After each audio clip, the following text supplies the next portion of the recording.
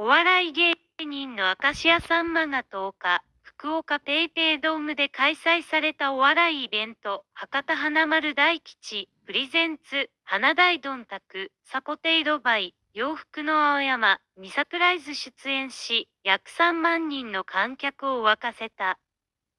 写真、開会宣言を務めた明石家さんま。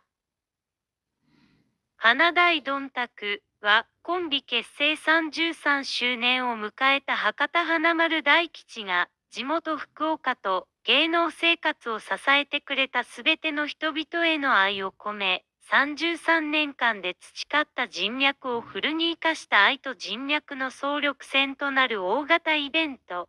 ペイペイドーム初のお笑いイベントで、中川家、ナインティナイン、フットボールアー、千鳥、かまいたちら、50人以上のお笑い芸人が出演する。さんまは、ほぼ同期チーム VS 若手チームどんたく大運動会の開会宣言を担当。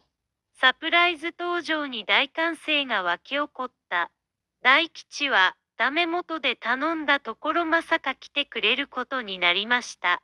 この方にやっていただけるのは本当に光栄です。と感謝し、さんまはあんなに前からスケジュールを抑えられてと話した。